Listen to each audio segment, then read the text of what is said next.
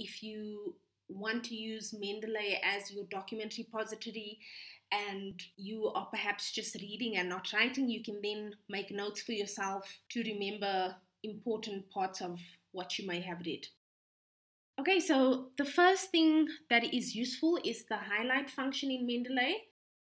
This basically allows you to highlight part of your document or it allows you to highlight the text in your document so you can just click the highlight text button at the top and then you can choose a color if you want to highlight in different colors. And this simply allows you to highlight sentences or paragraphs in your document.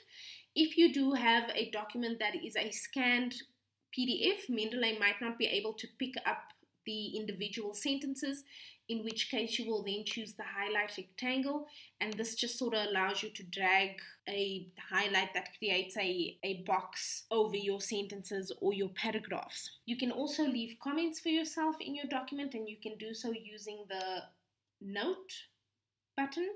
So if you click the note button and you just click anywhere on your document, you can leave notes for yourself in the document.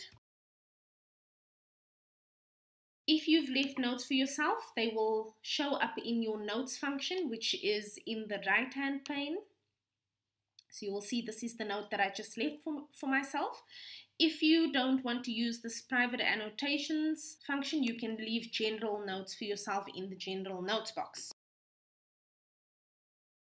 The nice thing about leaving notes is that you can actually search your notes afterwards if you don't remember where they are so if you've got your library full of documents, you can then say search by notes.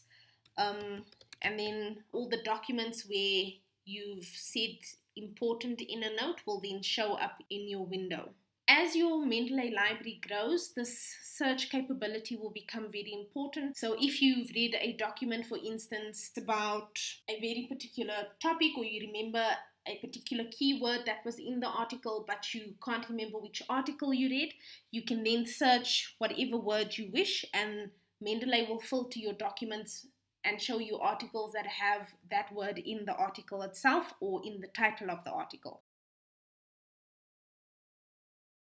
If you alternatively remember the name of the author but you don't remember the name of the article, you can in the bottom left corner here click on the name of whatever author you want and Mendeley will then filter your documents by the author that you've selected.